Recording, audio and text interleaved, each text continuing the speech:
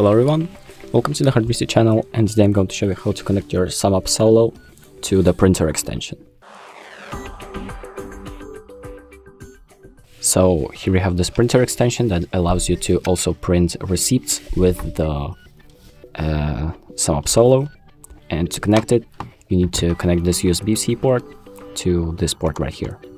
And uh, luckily this, this port can be like adjusted like this so it's easier to connect. So what we're going to do is just slide the lower corner right uh, corners like that, and then just align them with the uh, with the port, and just kind of stick it in, and it should connect like this.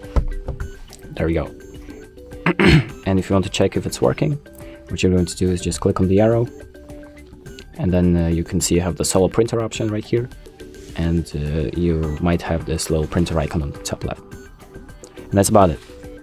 Thank you for watching, I hope this video helps and make sure to like and subscribe.